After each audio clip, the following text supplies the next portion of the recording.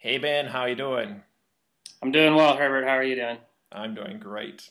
I actually had a little run myself. That makes me actually more inspired to speak to you. That's good. Yeah, I've got a run done this morning and a swim, so I hope you're jumping in the pool later. Uh, we'll see about that.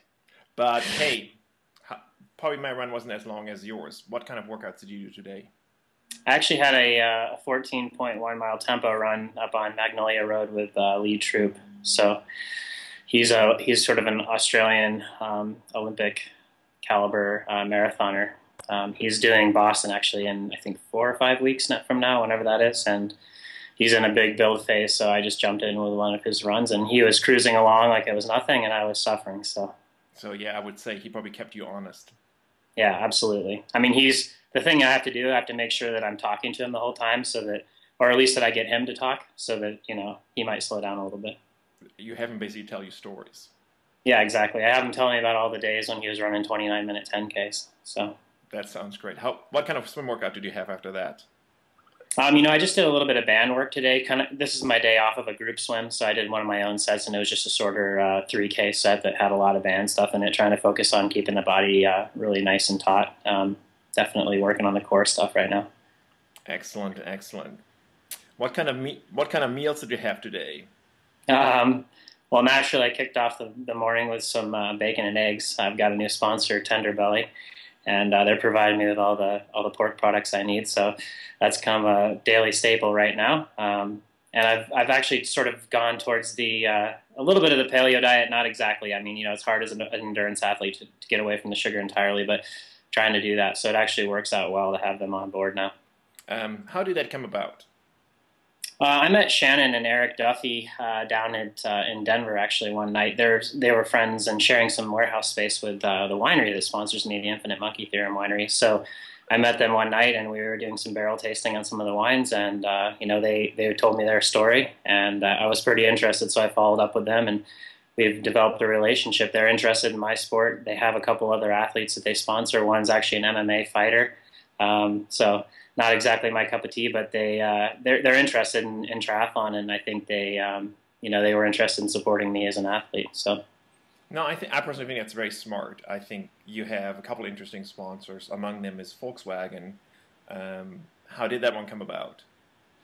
Volkswagen actually came about through my relationship with Specialized. Um, you know, they they were looking for a an up and coming North American Ironman distance athlete to do some uh, video work and uh, become an ambassador for their brand in the sport of triathlon. So, you know, I it was a natural fit. They're sort of a company that's all about the the highly engineered, you know, um, really high quality products, yet still attainable and affordable for you know the more average person, I guess. And um, you know, I, I feel like that's kind of the story with triathlon too. We're all sort of always looking for that highly engineered, you know, well developed gear. And um, and yeah, I mean, they had been in the space before with Volts, Volkswagen Trek back in the day, and I think they took a little bit of a hiatus and realized that that was something they were interested in getting back to. So um, that's been a great relationship. I mean, they're a fun company to work with. They're obviously really clever and uh, with their advertising and, and just sort of a smart company that that's always looking forward. So, what kind of car are you driving then? I actually have a, uh, a new one that was delivered about a week ago. It's a Volkswagen um, Touareg, and it's the TDI version. Um, I was driving a gas engine before that, and now I have the TDI, which is which is really great. I mean, the fuel economy on that thing is exceptional. So, excellent. So that means basically between the winery, the pork products, and Volkswagen, you have three non-industry sponsors. Yeah, I mean, I'm I'm always curious to explore the non-endemic side. I mean I have great relationships with everybody in the industry that, that sponsor me that are in the, in um, the triathlon realm. You know, Zoot obviously is a huge sponsor of mine, and um, very happy with Zipp and SRAM as well. And you know, I just uh, you know specialized bicycles, like I mentioned before, but you know, I, I, think it's kind of fun to push the envelope and see what else is out there. There's obviously a lot of uh, a lot of interested companies. I mean, there's space.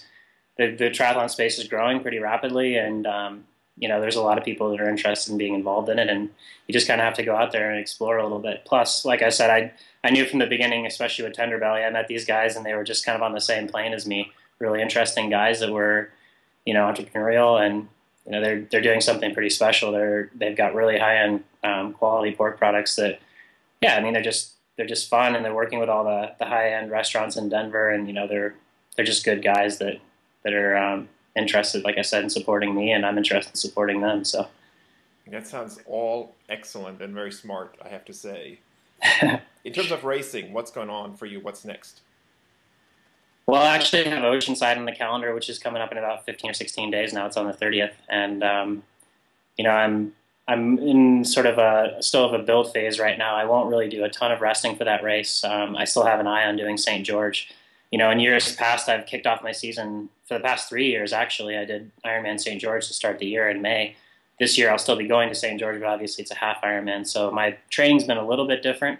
Um, I also didn't spend quite as much time in Tucson as years past, but you know, I think everything's on target. I feel really good. I've really been pushing the run, which is where I feel like I have the most, uh, you know, as sort of the area where I have the most potential for improvement. And um, I'm feeling pretty confident in that right now. So I'm excited to get out there and see how Oceanside goes. I'm looking at New Orleans as well, but then for sure St. George and then Ironman Coeur d'Alene will be the sort of mid-season goal that will hopefully get me qualified for a run at Kona again. Now that sounds all exciting. Uh, we look forward to see you in Oceanside. We'll probably have someone out there to check you out and see see how things are going. Uh, we have to ask before we go. We have to ask you when you go out socially, or on a date or otherwise. Do you wear that fire suit? Absolutely, yeah. I mean, actually, I have a girlfriend, so I don't do a lot of uh, dates anymore, um, unless it's with her. Right. But yeah, I, uh, you know, she's she's on board with it. She she likes the uh, the attention that it draws, and you know, most people think I'm a NASCAR driver, so we get uh, we get a lot of questions. But yeah, she's uh, she's on board with me going out, and um, you know, people in the community have started to to rally behind it. You know, they uh, they know to look for the Hoff when I come out in the suit. That sounds perfect. On that note, we let you run, and we'll catch you later. Thanks for having me, Herbert. It was fun.